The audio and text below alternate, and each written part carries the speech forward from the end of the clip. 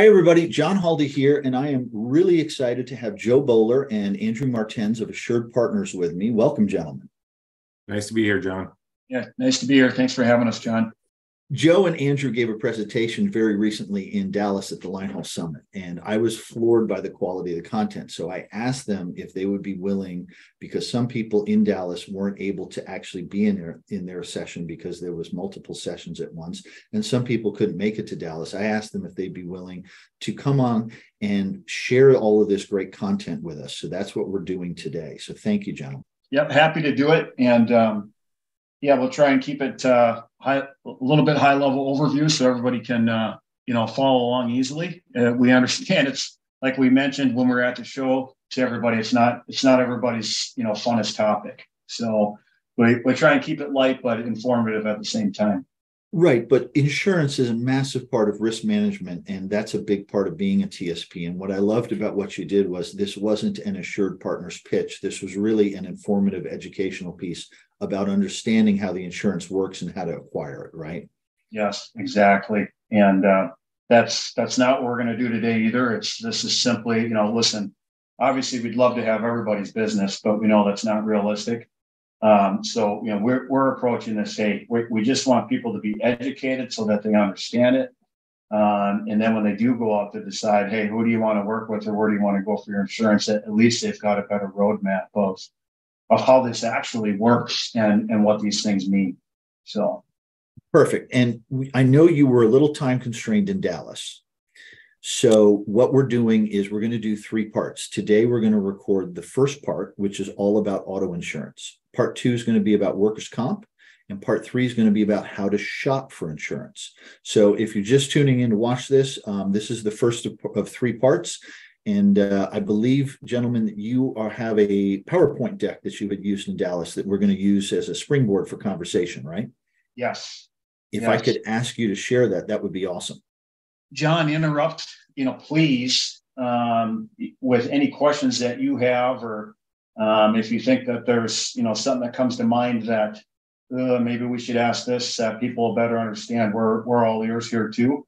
Um, again, this is not a, a, sales pitch. We're just trying to get across to people, um, you know, how auto insurance actually works um, as a line haul contractor, right? It's it's a lot different than um, if you were just a regular over the over the road trucker um, and, and you were not in contract with FedEx. There's there's some overlap and some similarities, but as everybody knows, the FedEx model is very unique, um, and so is the insurance, right? Um, and so, yeah. So why don't we? Um, yeah. Who who pays for what? This actually, I believe, was was in Texas. Uh, this accident. It was a couple years ago. I, I, think it was from uh, one of the ice storms. Is that right, Andrew?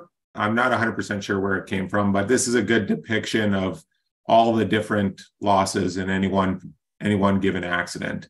You know, we got cargo all over the road there. We got the trailers, we got the actual truck that's destroyed, and then obviously the the other vehicle that was involved. And how are we going to figure this out? Right? Like this is what we do. So, you know, the way we approached it in in Texas at, at the Linehaul Summit was what are the biggest mistakes or misnomers that we come across when, when we're introduced to a line haul contractor? Um, and to me, I, I, still think that's the easiest way to explain this stuff. Uh, we meet contractors, and this is not a bash against any contractor, but you know, we meet contractors then that have been at this for over 15 years and and come to find out they really didn't understand 100% how this works and so we, we try to keep this as simple as possible and, and really the auto coverage as a line haul contractor is broken out into three kind of separate tiers if you will okay and so I think the easiest way to explain this is, is if you look at this first box here that says liability coverage, okay? So when it comes to your auto insurance as a FedEx contractor, this box right here is FedEx. Okay. FedEx is going to pay for anything that happens within this box. Okay. And as a FedEx contractor, when you are out for delivery or out on a run, you are under FedEx authority. That's why As a line haul contractor, you don't have your own DOT number. You fall under FedEx's DOT, right? And so while you're out under authority for them, they are covering 100% of the liability. Okay. And so when it comes to insurance and we say liability, well, what is liability? Liability is two things it's anything or anyone else that you would hit, hurt, destroy, or damage. Okay. So liability, anyone, that could be another vehicle that you hit, it could be a pedestrian, anything could be hey we we took out a road sign we smashed up a median uh, we damaged a dock backing into it okay that's liability okay and so when when you're going down the road and you rear end somebody fedex is going to pay for the damage to the vehicle um, that you were in john i just had an idea here um, this was hard to do at the at the summit because people couldn't see me up close. If it's okay, I'm going to stop my screen share actually, and let me grab my. So, John, you know, the easiest way to explain liability is over Zoom, is is visually okay, and okay. so um, I do this with all all of our clients when we're going through the insurance, um, especially for the first time. And most people make fun of me, and they usually reference uh, the movie Tommy Boy, um, and so that's fine if everybody wants to be a comedian. But um, the, the before people ask, I'm not doing the fat man in a little jacket routine. Thank you. Right. right. Yes. So um, this is a P&D truck, obviously, but you know, for presentation purposes, if this is your line haul truck Okay. That's the tractor. So the tractor. Yep. So again, we're talking about liability, right? And, and how does it work as a FedEx contractor? So if if your truck is going down the road while you're under FedEx authority, okay, and you rear end somebody, let's let's call it Sally in her little red Saturn here, okay, and you rear end Sally and there's damage to her car, but there's no damage to your truck, okay. FedEx is going to pay to fix her car, right? Now, FedEx charges you a deductible back because their insurance is paying to fix that. Okay. But now let's say that, that you're going a little faster and you rear end Sally and there's damage to her car. She has injuries and there's also significant damage to your truck. Okay. FedEx is going to pay to fix Sally's car. FedEx is also going to pay for all of her injuries, whatever it is a sore neck, a broken neck, broken back, whatever it may be, and your insurance company, the contractor's insurance company, is going to pay to fix their truck. Okay, that, that this is the biggest that, that people don't understand this, um, and they think that their insurance is paying it because FedEx is charging them a deductible back. No, the deductible is really just FedEx's deductible for their insurance that they're charging you back. Okay. So a little color, if it's preventable, the deductible you get charged is really big, like 75 grand at the time of recording this. If it's not preventable, it's really just an accident that couldn't have been prevented. It's a much, much smaller number, like two, three grand, right? That's yeah, correct. Correct. Okay. okay. And, and you know, we seem to hear different things from contractors across the country. The most common that we hear is 75. I, I have heard different, and I don't know. Um, I'd love clarity on that from FedEx, but we seem to hear a little bit different numbers on on what those deductible amounts are. But Joe, uh, can you hold up the two cars and let me ask a quick question? Yes. Your imaginary P and D van has a set of doubles on the back. Yeah. Right. It's a tractor with doubles. And the trailers and the cargo get messed up. Who's paying for that? FedEx is. FedEx is. Okay. And then last one, and I don't mean to, your driver is hurt.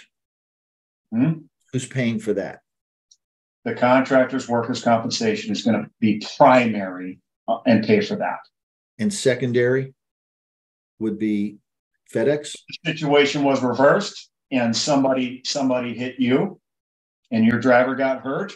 Okay, your workers' compensation is going to be primary, and then your workers' compensation is going to go after the other party that hit you and try and recoup those dollars if they have insurance or enough insurance to, to pay for those damages to the employee or injuries to the employee.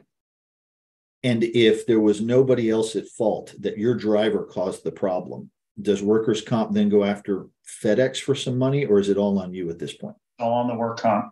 Okay, makes sense. Yep. Okay. So why don't I return to the share my screen again here? And I'm sorry for the dumb questions, but I think for new folks, I'm, I'm as dumb as questions. folks who just started. So Yeah, no, they're they're great questions. And so, okay, so we've covered the liability portion. That's FedEx. Okay. Non-trucking liability is your liability coverage for when you are not under FedEx authority.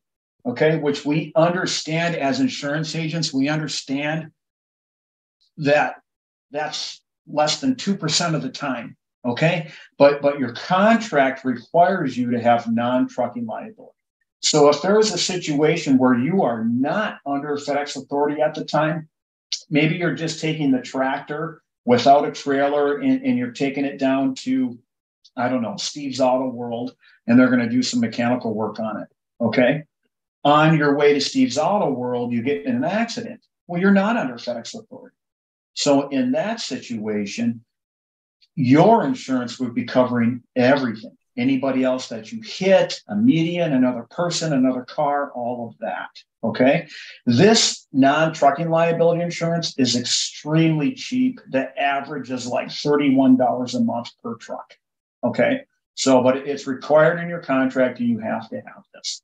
And it's extremely cheap because they know that the percentage of miles you're running not under FedEx is minuscule compared to the amount you're doing otherwise, right? Exactly.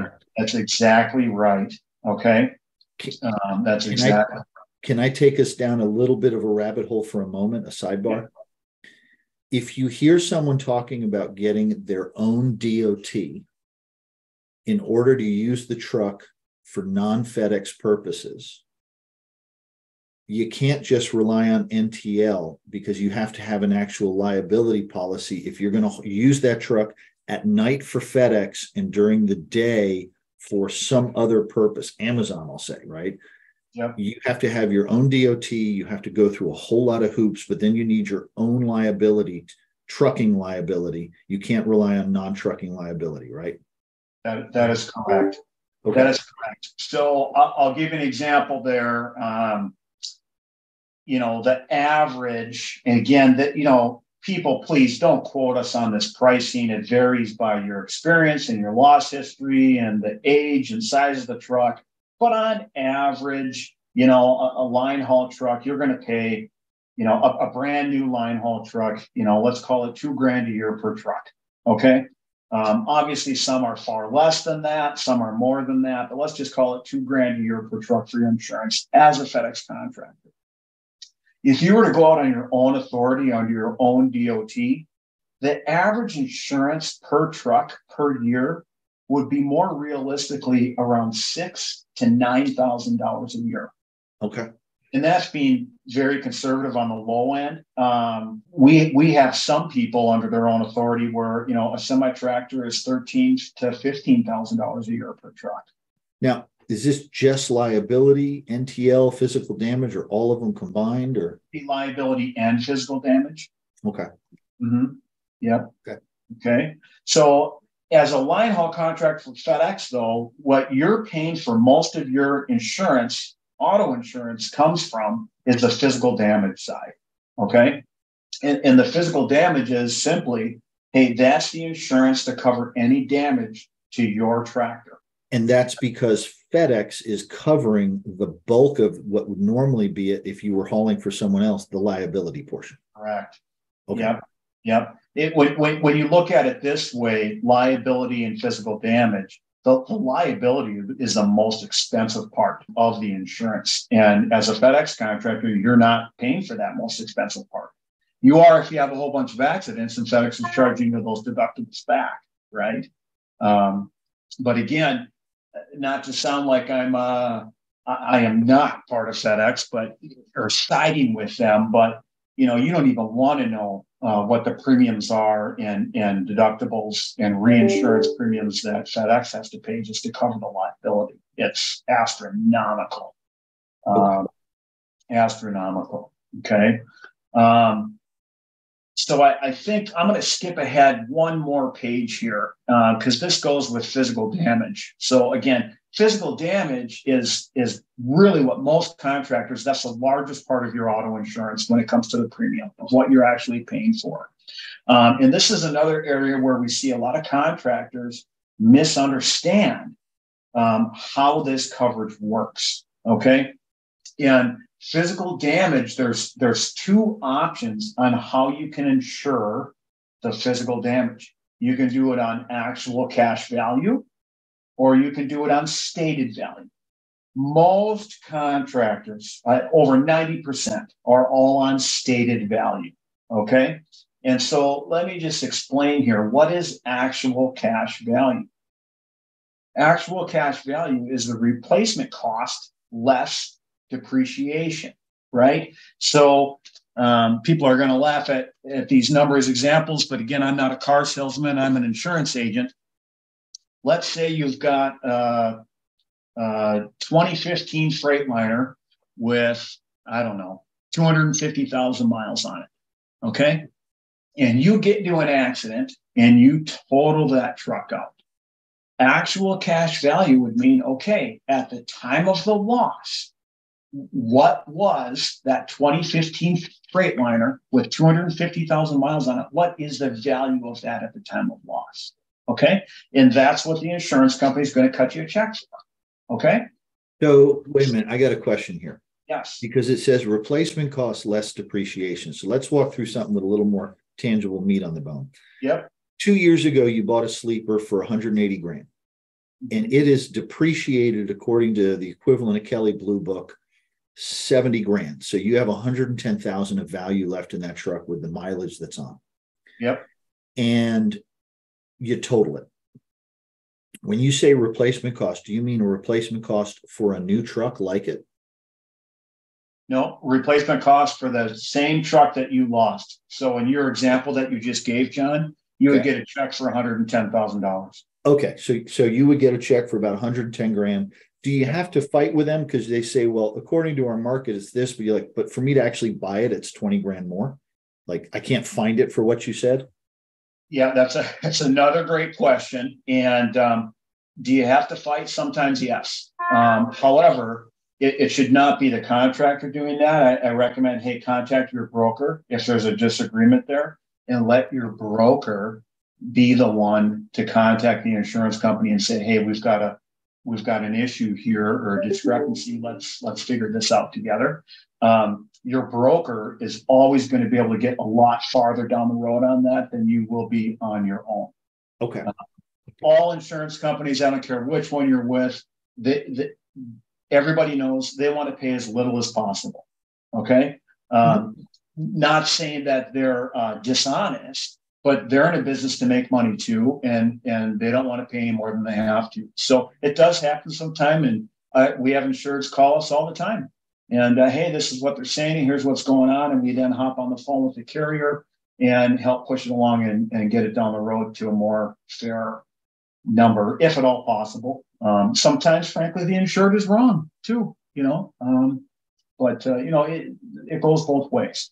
Okay they set up certain parameters as well when it comes down to like hey where what is the replacement cost on this vehicle if we're going out there? Usually they're using about a 100 mile radius. Hey in within 100 miles what is a comparable vehicle costing you? And then they take that vehicle add the add-ins that you have and subtract the things that you don't have on that vehicle.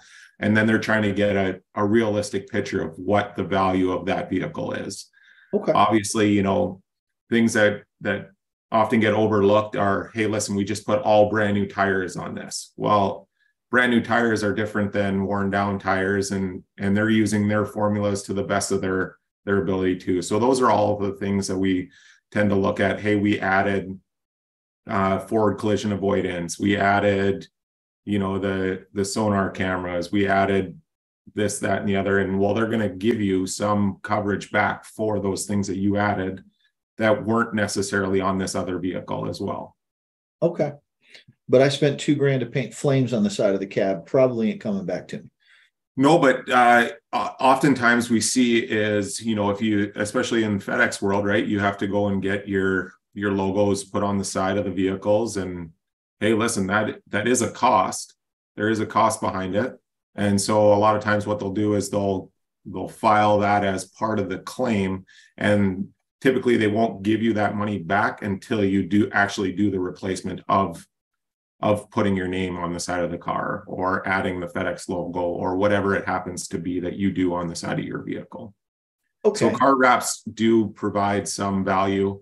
Um, it depends on which carrier you're talking to. Some people th- say that it's a it's not a depreciable asset. It actually decreases the value of the vehicle to have your logo on it. However, we typically fight that one, obviously, because there is value to the to the contractor in those situations. So you said 80 to 90% of contractors tend to be in the stated value bucket. What's that?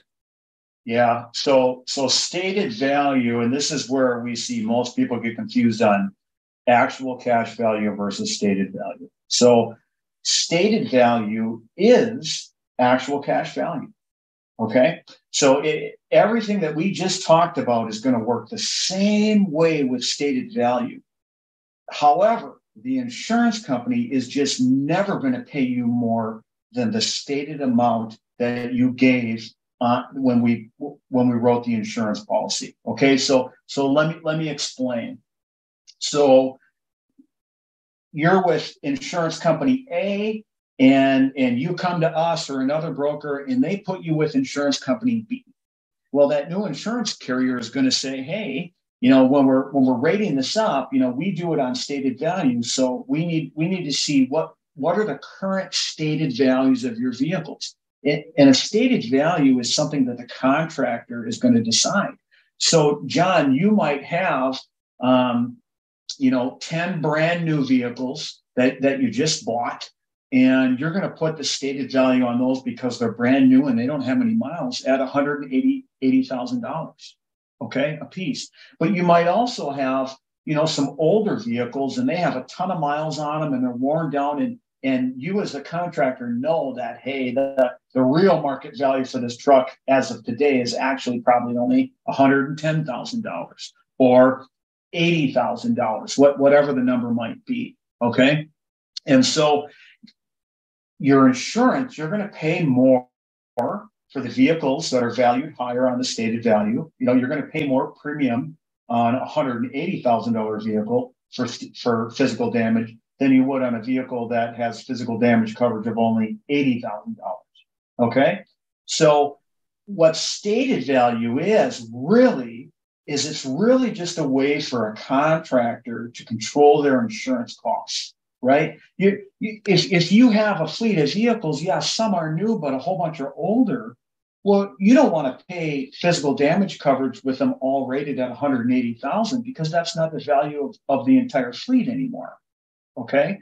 So stated value, you get into an accident and you total that truck out. The insurance company is still only going to give you whatever the vehicle was worth at the time of the loss. So, so let's say the vehicle that got totaled, you, you had a stated value of 110,000. Okay. That, that's the value that you gave the insurance company. Okay. When you wrote the policy. And maybe six or seven months have gone by. And now you get into an accident and you total that truck out. Well, you've put more miles on the vehicle, right? It's depreciated a little bit. So at the time of loss, potentially, maybe it's only worth $100,000, not $110,000. You're only getting a check for $100,000. What stated value is, is it, it's a cap. So the insurance companies, if at the time of loss, the insurance company says, well, the vehicle's worth 130,000, you know what? Too bad. You gave a stated value of 110. The most you're going to get is $110,000. Okay. So, so it's a way, and I can see you got questions, but this might answer it. It, John, is it's a way also to control your insurance premium costs. Some contractors might be willing to, to, take on a little bit more risk of certain vehicles. So they might lower that physical damage a little bit within reason um, to, to help with the insurance premiums. Let, let's see if I understand this. Yep.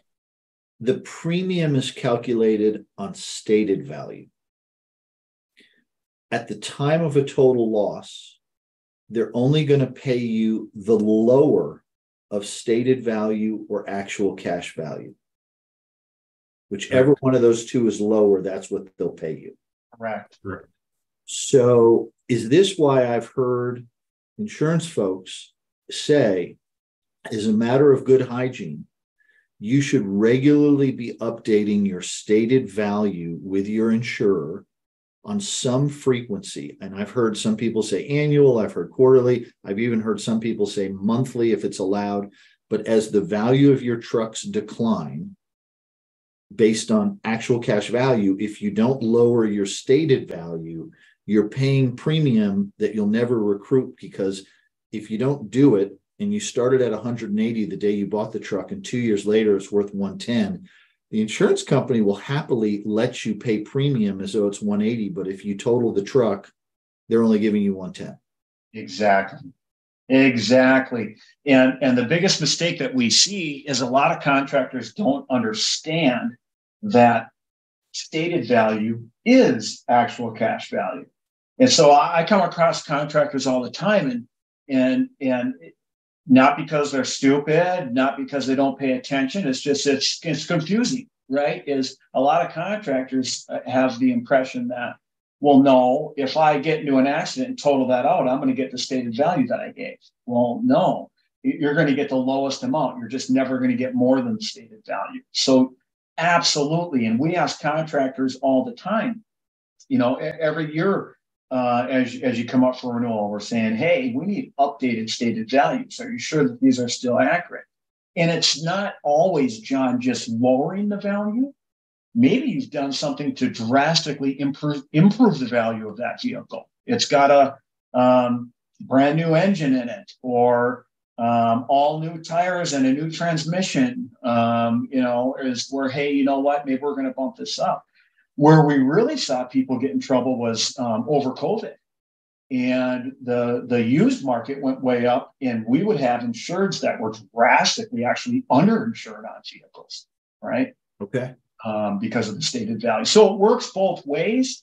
It's less common to need to increase it, but there are situations where that happens. It's most common that we need to lower uh, the amount based on the depreciation of the vehicle. So you almost want to ratchet it down to the ACV so you're not overpaying. Correct. Now, just to make sure, I, I heard something once. If I'm a contractor and all my trucks have an ACV of 110, let's just bought them all the same time. Yep. And now, now they're at 110. But I'm rolling in cash. And I remember what my mom and dad taught me, which is insurance is there to cover the things you can't afford to pay. Right. Mm-hmm and I say, man, I've got an extra 150 grand in the bank for a rainy day fund. I'm going to save a little money and take my stated value from 110 to 95 because I could afford to take a 15 grand hit if I had a complete loss. Absolutely. Is that a cost management function that I'm allowed to do? Yes, absolutely. Now there's variables with that, John. If if if your auto fleet is, let's say, six vehicles. Well, listen, taking six vehicles valued at 110,000 down to 95,000 probably isn't going to save you much in the terms of premium savings, okay. where it might make sense for you to take on that risk. Um, instead, I would look at maybe raising your deductible um, a little bit higher instead. Um, now, now it could be you've got a fleet. Hey, you got 20 or more vehicles. Well, yeah, if you have 20 vehicles at 110,000 and you take all those 20 and go down to 95, that that's enough vehicles where where it might make enough of a premium savings where that might make sense for you to take on that risk. So again, every contractor should talk to their broker and ask them that. Um, but, but it's going to vary, you know, kind of based on you know your radius of operations and where you are and number of vehicles is going to affect that as well okay but that's something to work on with your broker play what if and figure out what works for you yep Yep. Okay. The only other thing, and it came up at the Linehaul Summit while we were there, is you know I I bought these trucks through Ryder as an example. Now Ryder is also going to give you, hey, listen, if if you destroy this truck, this is the value that we need to insure them for because these are your loan amounts and we got to make sure that we're made whole again. And so sometimes there's caveats where, hey, listen, we can't reduce your amount because Ryder is requiring you to carry certain thresholds of coverage. Um, but yes, uh, exactly what Joe said. I mean, we, where we see greater cost savings is usually on the deductible side. Um, I mean, and and in all reality, if you have a really old a really old fleet and you say, hey, listen, if this truck breaks down, I'll use it for parts. FedEx is only requiring you to carry the NTL. You essentially don't have to cover the physical damage portion of your vehicle if you choose so. But that's for newer contractors, if they're watching, that's probably not self insuring is not a place you're going to go unless you're a trust fund baby, right? Correct. Probably not. Um, there's extenuating circumstances. I mean, you know. Right. Uh, okay. Okay. So deductible though is is the is another area where we see um, a, a lot of mistakes and and frankly, John, I I don't know why, but it seems like every single line haul contractor we come across that that we don't handle their insurance on, but we look at the policy overwhelmingly, almost all of them have a deductible of a thousand dollars. Okay. And in this day and age, I'll just tell you, my my personal vehicle, which is nothing spectacular, okay, I have a fifteen hundred dollar deductible on my personal vehicle. Um, and you know, we're talking about trucks that majority of them are valued over hundred thousand dollars you know, if you really want to save some money, you know, we advise our contractors go. Let's look at a two thousand. Let's look at a twenty five hundred dollar deductible. Sometimes, sometimes higher. Um, and what I challenge contractors on is I, I, I say it this way: is look, if you get into an accident and there's damage to your truck, and let's say the damage is five thousand dollars to repair it are you going to turn that claim in? You know, or or if it's a three thousand dollar damage, are, are you going to turn that claim in, or are, are, are you just going to fix it? Right? Uh, most contractors that we talk to say, "Yeah, we're just going to fix that." Well, okay, and I agree with that, but then why do we have a thousand dollar deductible? Right? Why why are we paying more for our insurance on a thousand dollar deductible? Where a higher deductible can get contractors in trouble is if, hey, if you're a contractor that you've just been having some bad luck, or for whatever reason, based on your territory or geographical area that you operate in, you have a lot of auto claims, well, then yes, going from a thousand to a $2,500 deductible, you know, potentially could eat into those premium savings. But if you only have one or two claims a year, on your auto insurance, you, you contractors should really look at raising that deductible up higher. Is it the case that loan covenants, if you finance the truck or lease terms, if you're leasing, specify the deductible, or is that usually left up to the operator? Usually left up to the operator as a as a line haul contractor. Okay. They might take issue with a fifty thousand dollar deductible, they might want to see some collateral or a line of credit or something. But I've we've never come across that on a. And, and going back to where you talked about loan covenants for the stated value, if there's a situation where the loan covenant is wildly higher than the ACV, can you argue that with the lender typically? Yes. Yeah, yeah. A lot of times you'll see there will be arguments to be had on that, and in most instances they're they're usually pretty reasonable on coming back um, some of the things that we can do behind the scenes too is hey listen we we've gone out and we've seen that this vehicle like you want it to be insured for 195 well we're seeing this vehicle in the open marketplace be 170 or 180,000 not 195 and and so what we'll do is we'll do some research for them as well and say hey look not only are we insuring it for 180 but in most with most insurance companies nowadays we're seeing that there is um, so-called fluff coverage um, but it gives you gap coverage. So what the loan amount is versus the value of the vehicle at the time of loss, they'll give you some gap coverage, which is that additional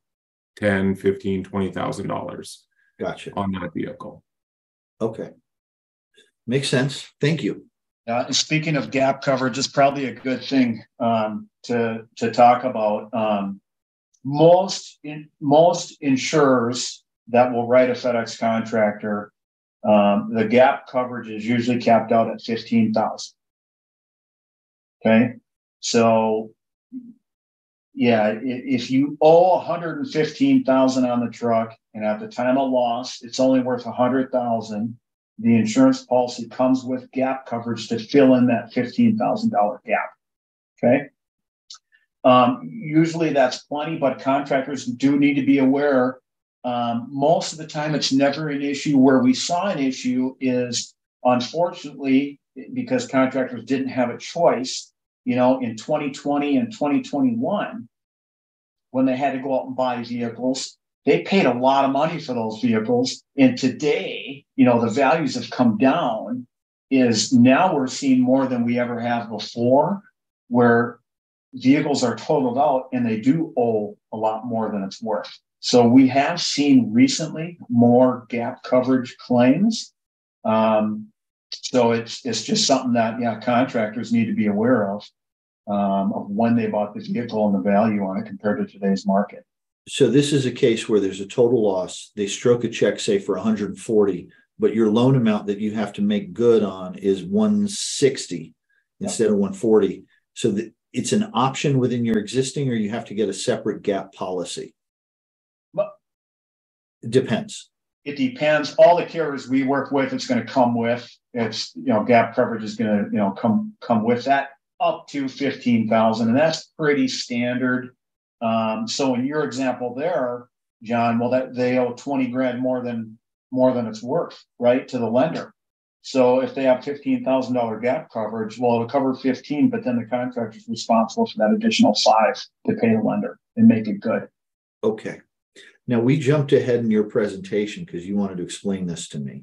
Yep. Non-trucking liability, the the just kind of talking about the limits and and some of how these coverages work. On um, and this is the part where like my manager's taking the truck from the yard to the shop that kind of thing non-trucking right? yep, non-trucking liability yeah or or i've decided to move the truck from one terminal to another because there's an opportunity to get a load over there but i'm not being dispatched by fedex i'm choosing the bobtail.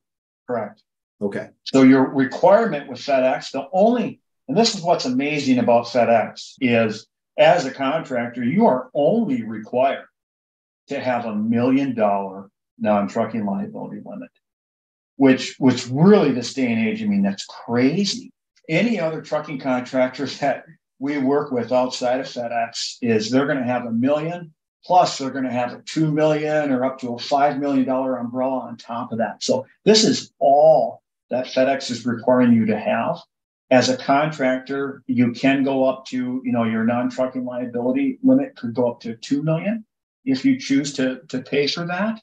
Um, and we we do have some situations with contractors where they say, I want to buy an umbrella policy on top of that too. So maybe this is another good opportunity. Let me stop my share. You can see me again. We'll go back to the Tommy Boy thing, and everybody can make fun of me. But non-trucking liabilities, you have a million dollars right? You have a million dollars of coverage. And you're in this example here, you are not under FedEx authority. Okay. And you're going down the road and something happens and you veer and you come into the other lane and you do a head on collision with somebody. Okay. And there's a family in the car. And the spouse is hurt, the husband's hurt, and the child is deceased because of this accident. Well, your non trucking liability policy has what? It has a million dollars and that's it. So, yes, less than 2% of the time as a FedEx contractor, you are not under FedEx authority, but they do need to understand the risk, right? Is hey, when you're not under FedEx authority and you're driving these missiles down the road, you've only got a million dollars of coverage typically. So it is something that, you know, we talk to contractors about, and it's up to them whether they want to purchase, you know, additional coverage on top of that. Um, but as everybody knows, John, this day and age, a million dollars isn't much, and it doesn't take much to eat through that. When you talk about umbrella on top of that, is it umbrella NTL or is it just corporate umbrella?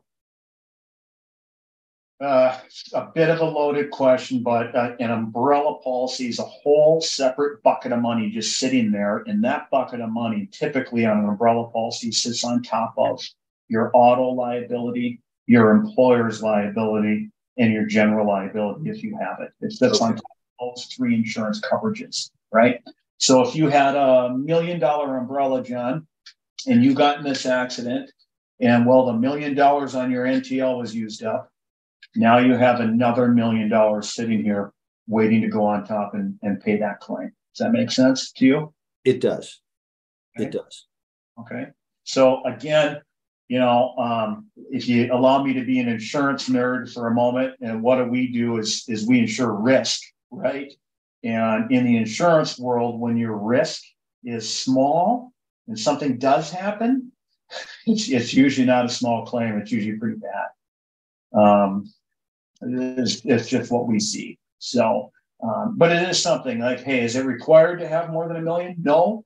Um, but it's something every contractor should at least understand and know, right? And, and it might make them make different judgment when they're not under FedEx authority is do we really want to take this truck at this time of day in this traffic down to Steve's Auto World, or do we want to wait until later in the day where there's less traffic or those things? Because if you get into an accident at that point, you've only got a million dollars sitting there. And and my understanding, and maybe this is wrong, but when you've got a million dollar liability and it's supposed to cover a potentially catastrophic accident, you know, if if your NTL kicks in because you had a fender bender and nobody got hurt, and their attorney is coming after you for, oh, my client's back hurts a little bit. I want 50 grand in pain and suffering your NTL insurer is going to assign a lawyer and they're going to fight that probably. Correct. You have a catastrophic and there's two people dead. They're not even going to assign a lawyer. They're going to stroke a million dollar check and then they're going to tell you you're on your own. Correct. Because that's the cap on on your policy. It's not even worth fighting it at that point because they know it's done. They're not even going to give you a lawyer to help argue it. It's you're on your own. You're on your own after that. Yep. So again, we're not trying to listen, we get it, right? Is, you know, 98% of the time, maybe even higher, you're under FedEx authority, but it's something that, you know, a lot of contractors, again, we're, we're talking about education here. That's something that we see that they didn't, they didn't really understand. Right. That's what we're talking about. And look, you're never going to button it up so safe and tight. You're not going to child proof your business, right? No it's about risk management and finding the right balance of what can you tolerate what can't you tolerate? And and i like what you were saying. Look carefully at the deductibles because you can tolerate eating an extra thousand every now and then. It's the multi-million dollar policy thing blind spot that could end your business tomorrow. Correct. And um, yeah so some of the exactly. So some of the other coverages you know that are you know, on all FedEx contractors policy is it's always abbreviated UM slash UIM, so uninsured slash underinsured motorist coverage. Okay. And what, what this is, is if somebody else hits you, okay, and the damage to your truck was 80 grand, okay, well, the person that hit you, they just had the basic limits. They they've only got 25,000. So your, your policy comes with underinsured coverage. That's to cover the difference in the dollar amount that others party didn't have to cover to repair your vehicle. Let me, let me say it again. If somebody else hits you and they damage your truck severely, and the, the damage to your truck to repair it is, let's say, $80,000, well, their policy might only have limits up to 40,000. So they're, they're 40,000 short. So on your insurance policy, you have underinsured motorist coverage to cover that gap. And, and, this is the part of the policy that will pay for that difference. It's coming out of your policy. Uninsured motorist coverage would be hey, somebody hit you, there's $80,000 damage to your truck, and guess what? the party that hit you, they didn't have any insurance. Okay. So uninsured, underinsured motorist coverage is to protect you against people that don't have enough insurance or don't have any insurance at all, which there is a lot of. It's rampant out on the roads. Okay. Personal injury protection. Andrew, you want to run with this one? Yeah. So this is going to cover the the resulting injuries that you have from somebody else hitting you pays things like your wages your lost wages different things along those lines ultimately first and foremost is work comp if you're if you're working at the time however if you're not working at the time this is going to provide you with coverage while while you can't get back to work and um, any medical medical loss again if you if you're hit by somebody they're like no we're not paying your medical bills well this is going to or it's you you've capped out all your liability all the liabilities on the other policy to cover you for those situations So, dumb question.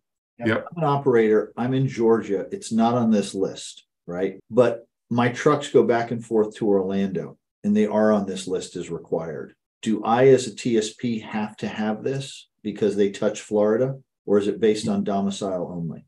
yeah it's domiciled wherever your vehicles are domiciled um, is going to govern what you have to have And would you tell someone in that scenario where it's not required that you should get it anyway? Again it's it's about managing where you want your dollar spent and what risks that you feel are necessary to be covered. Um, you can buy up buy standalone pip policies and excuse my um, acronyms. I'm just used to talking in that language but the personal injury protection is something that you can purchase on the side. Um, it's very minimal cost and it just depends hey is this going to help me put my head on the pillow at night? Okay. Um, a- a lot of I, I'm sorry, I don't I don't mean to interrupt you there, Joel, but a lot of high valued individuals, like if it's an owner that's taking these vehicles for whatever reason, let's say he wants to take one of his semis home at night. He's not working, there's an opportunity, or let's say he's moving it from Georgia to Florida or Minnesota to Florida over a weekend. And he's like, I'm driving that truck, high valued individual behind the wheel, want to make sure that my wages are covered if I if I do get hit by somebody. okay I Okay. think, I think one of the easiest ways to look at this is going off of what Andrew just said is contractors don't need to get too worked up about, about the PIP. Anytime an employee is in the truck and they get hurt, workers' compensation is always going to be primary. Your workers' compensation policy is always going to be the primary one that that's going to pay for that. Is as Andrew said, eh, yeah, if you're an owner and you're taking that truck, you know, th- that's where you you'd want to consider and and we recommend that you have that coverage. And I, I think I would leave it at that. Okay. So if I'm an owner without a CDL, I probably don't need PIP. No, Let's Talk work to on your- getting your talk to your broker CDL before you it. jump in that truck. No. yeah. Um, Okay. Got it. so why don't we go? Um, so, so you know, we've covered the physical damage, and, and again, this is the biggest portion as a contractor what they're paying premiums on. Okay, and we've gone through that. Um, Andrew, do you want to run through kind of what you know factors that our underwriters are looking for um, that that can determine pricing on your account as well? Yeah. So a lot of this stuff is is basically when an underwriter gets a gets a or a piece in, they're seeing thousands of applications a day or a month or whatever you want to say, but depending on who they are. But um, they all have check boxes that they have to go through. And these are the the most common things that are found on those check boxes between insurance companies. They're they're going to want to see like you know where it's at what vehicle what's the radius the weight of the vehicle do they have telematics do they have a fleet maintenance schedule? Do they have all of these things that you see here? How do they have them? Or first of all do they have them? How advanced are they? And they all provide additional credits when it comes down to underwriting the risk. So sometimes you see it where hey listen there's a company that has a really high loss ratio when it comes to to their business but they've done this, this, this, and this since that accident.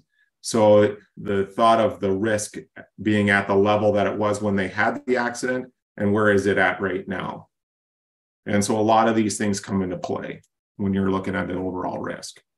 Um, they just want to make sure that, I mean, you're you're always mandated by FedEx to have most of these things already. Have you told your broker about it? Hey, we added this additional service that we're doing.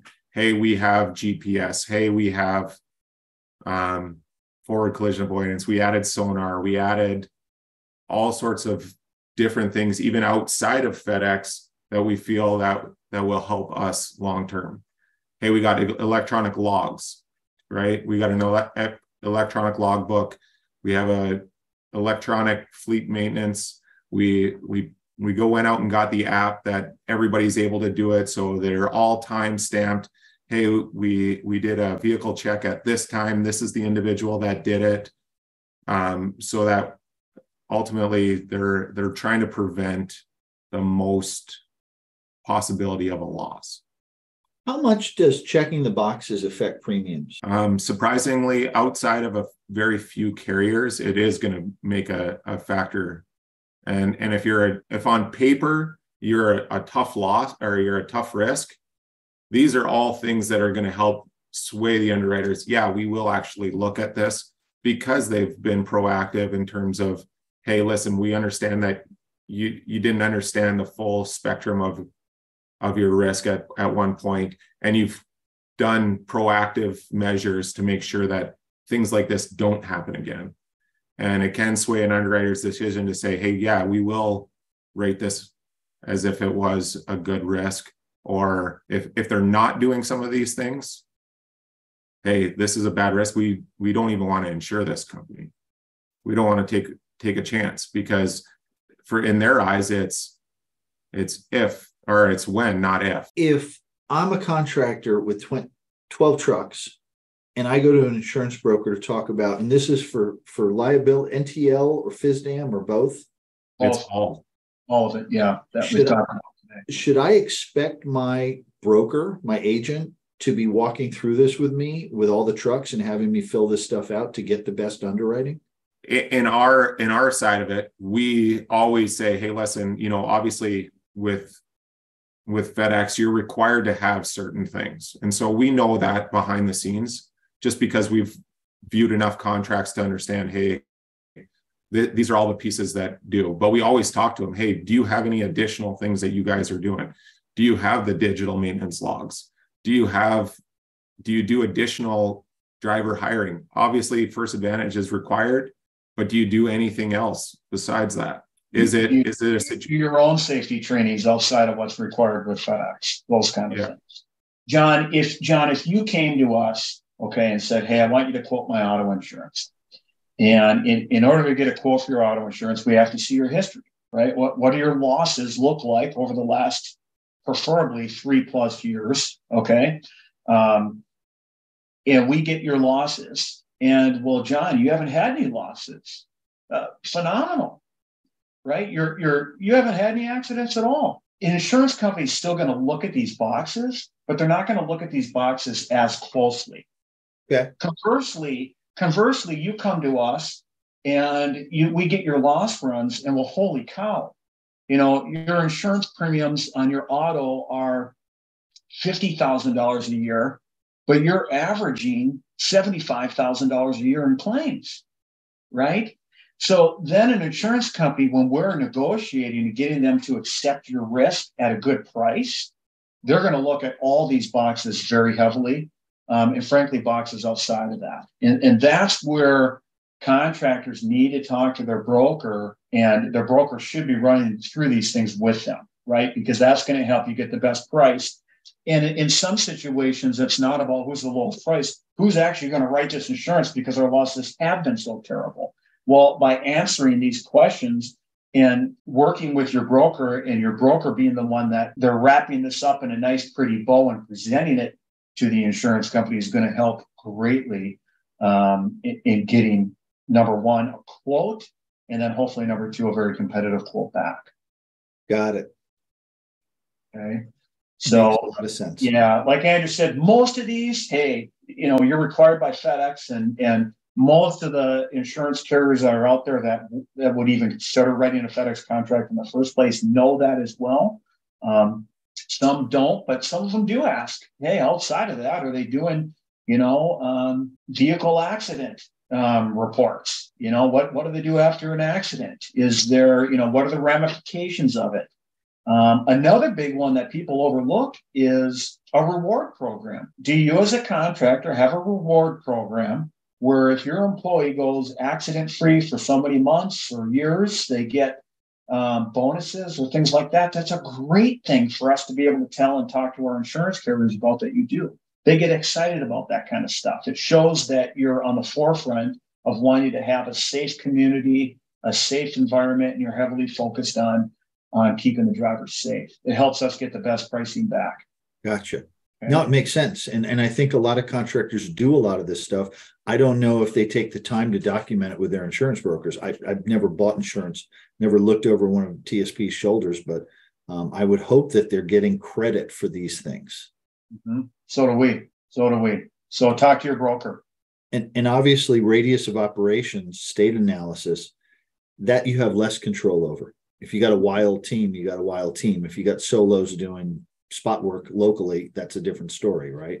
And I mean that plays into it too, right? If you're if you're driving through the mountains of Colorado, they're they're going to take take account on on those situations. If you're if you're in Florida, obviously if you're domiciled in Florida, we all know like there was nine companies last year that went insolvent in Florida because of property losses, flooding, you know, I shouldn't really say flooding, but water damage and different things along those lines. So so just knowing all those things, all those factors do come into play when when underwriters are looking at risks and you just want to make sure that you're you're well aware, hey, do I have a preventative plan? If there's an imminent hurricane bearing down on the Florida coastline, do I have a plan that I'm going to move my vehicles inland or am I going to move them north north? so that the potential for a catastrophic loss is minimized. Ultimately, they don't want to lose their trucks any more than than the insurance company does, right? Because if their wheels aren't moving, they're not making money. So, do you have a plan in place in those situations? California wildfires, same idea. Here's a question. I know we're running a little past our expected time, but I got to ask this. Do underwriters of FedEx TSPs care about whether the runs are assigned or unassigned? Yeah, I mean, I if you're yes, so if if you think about it, right, if you're doing the same route over and over again, you know all the pitfalls, you know where the construction zones are, you know, hey, listen, I got to be in the left lane going under this overpass so that I'm not ripping off the top of my truck. All of those things play into account. So if you're just doing wild runs and you're one day I'm in going from Florida to Texas. One day I'm going from Florida to North Carolina or New York.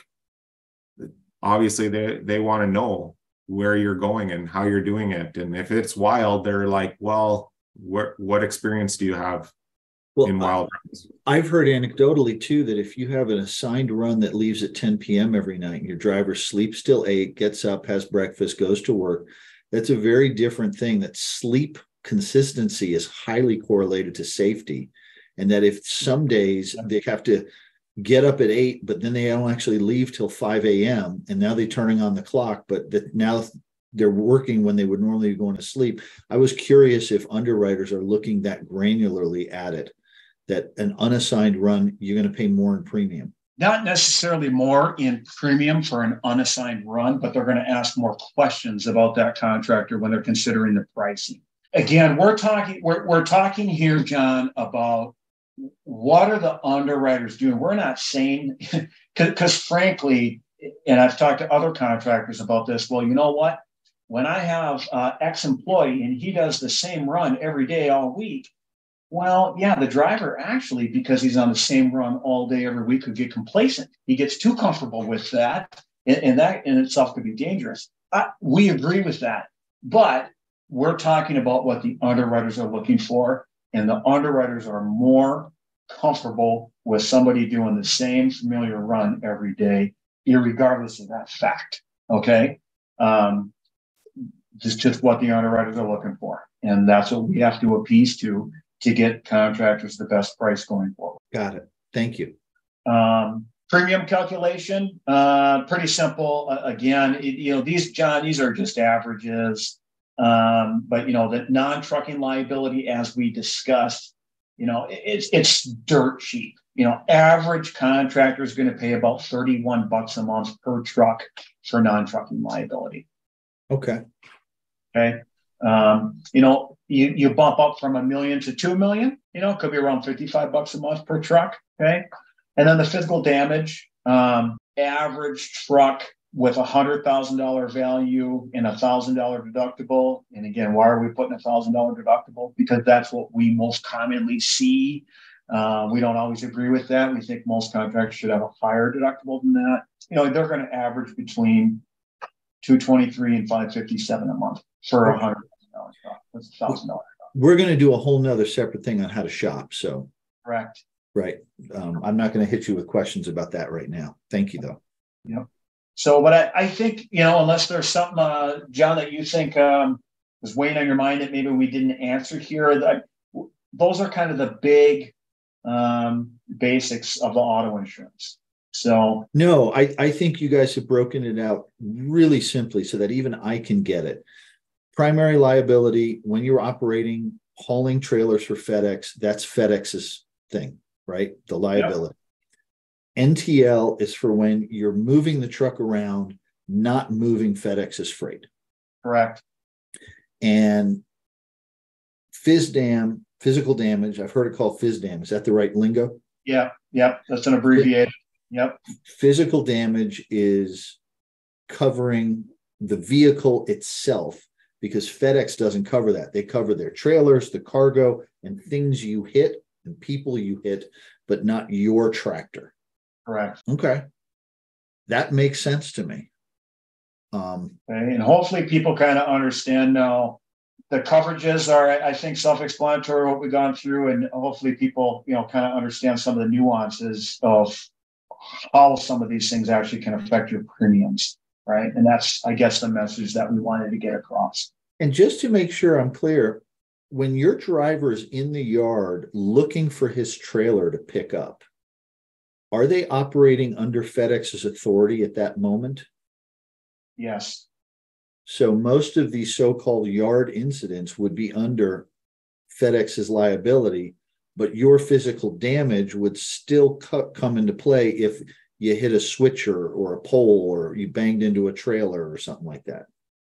Now I can, John, I can hear contractors, you know, arguing that it should be under FedEx authority. If it's not, you know, you need to don't swear at your terminal manager, but you need to take that up the level. You know, FedEx doesn't want to pay anything, um, you know, on, on that stuff. But yeah. Well, and and they're probably going to rubber stamp the first pass as preventable, so it's all going to flow downhill to you anyway. So you have a new new can of worms to deal with, but but in theory, what I was saying makes sense, right? Yes. Okay. Yeah, this is great, guys. This is, I mean, phenomenal. I've been around this space for years and now, and it's always been gobbledygook. Now I have it crystal clear, like well enough that I think I could explain this to someone else. This is this is awesome. Good. Well, we're always looking for good people, John. You want to come over here and be an insurance. I don't have the brain power to do what y'all do, but thank you. I'm flattered. Um, this was part one, right, gentlemen? Yes. Part two, where the hero gets into in, in, in act two, the hero gets into trouble with and, and finds his character and whatnot, according to the famous stories, storylines, is workers' comp, right? Yep. Um, so we will put that out very closely after this. We'll schedule some time to do that. Um, we're going to add to the video here your contact information. Is it fair to say that if people want to call you to learn more about this, you're open to that, that it's not a sales thing, that you're happy to educate folks? Absolutely. Anytime. Yeah, I'll tell you right now. If, listen, if you love your broker, but you still want to call us for questions, stay with your broker and give us a call. We'll unbiasedly answer and tell you anything you want to know about insurance. Thank you for that. That's a huge offer. I, I realize that that's not the norm. Um, so you guys are wonderful. Um, and uh, yeah, thanks everybody for for tuning in. and we're going to uh, very soon record up the workers' comp piece, and then part three, how to shop for this stuff and do it intelligently. Sounds good.